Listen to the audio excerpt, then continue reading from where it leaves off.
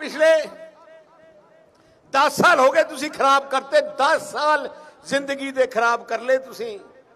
ਨਹੀਂ ਤਾਂ ਮੈਂ ਤੁਹਾਨੂੰ ਕਿਹਾ ਸੀ, ਮੈਂ ਇੱਥੇ ਮੈਡੀਕਲ ਕਾਲਜ ਬਣਾਉਂਗਾ, ਪਰ ਤੁਸੀਂ ਸਰਕਾਰ ਲਿਆਂਦੀ ਨਹੀਂ। ਮੈਂ ਇੱਥੇ ਬਹੁਤ ਤਰੱਕੀ ਕਰਾ ਦੇਣੀ ਸੀ। ਅਸੀਂ ਤਾਂ ਹੁਣ ਲੱਗੇ ਆ ਬਾਰਡਰ ਫਾਜ਼ਿਲਕਾ ਦਾ ਖੁਲਾਉਣ ਵਾਸਤੇ ਵੀ। ਸਾਡਾ ਹੈ ਪਾਕਿਸਤਾਨ ਖੁੱਲ ਜੇ, ਇੱਥੇ ਟ੍ਰੇਡ ਵਪਾਰ ਵੱਧ ਜੇ। ਆ ਤਾਂ ਖੁੱਲੂਗਾ ਜੇ ਤੁਸੀਂ ਆਪਣੇ ਇਲਾਕੇ ਦੀ ਸਰਕਾਰ ਲੈ ਕੇ ਆਉਂਗੇ ਜੋ ਨੇੜਤਾ ਤੁਸੀਂ ਬਾਦਲ ਪਰਿਵਾਰ ਨਾਲ ਹੋਰ ਕਿਤੇ ਹੋ ਸਕਦੀ ਹੈ? ਜੇ ਅਕਾਲੀ ਦਲ ਦੀ ਸਰਕਾਰ ਹੈ, ਬਾਦਲ ਪਰਿਵਾਰ ਮੁੱਖ ਮੰਤਰੀ ਬਣਦਾ ਇਹ ਤੋਂ ਵਧੀਆ ਤੁਹਾਡੇ ਵਾਸਤੇ ਕੀ ਹੋ ਸਕਦਾ ਹੈ?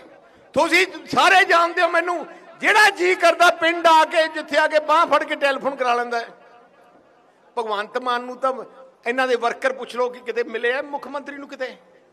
ਇਹਨਾਂ ਦੇ ਐਮਐਲਏ ਨਹੀਂ ਮਿਲ ਸਕਦੇ। ਆ ਐਮਐਲਏ ਨੇ ਕੱਲਾ ਇੱਕੋ ਹੀ ਕੰਮ ਕੀਤਾ, ਸਾਰਿਆਂ ਨੇ ਵਿਆਹ ਕਰਾ ਲਏ। ਸਾਰੇ ਮੁੱਖ ਮੰਤਰੀ ਨੇ।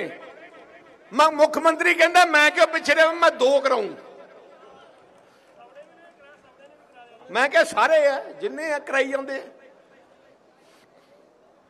ਜੇ ਤੁਸੀਂ ਪੰਜਾਬ ਬਚਾਉਣਾ ਹੈ, ਜੇ ਤੁਸੀਂ ਇਹ ਬਾਰਡਰ ਬਚਾਉਣਾ ਹੈ, ਇਕੱਠੇ ਹੋ ਜਾਓ ਇੱਕ ਝੰਡੇ ਥੱਲੇ।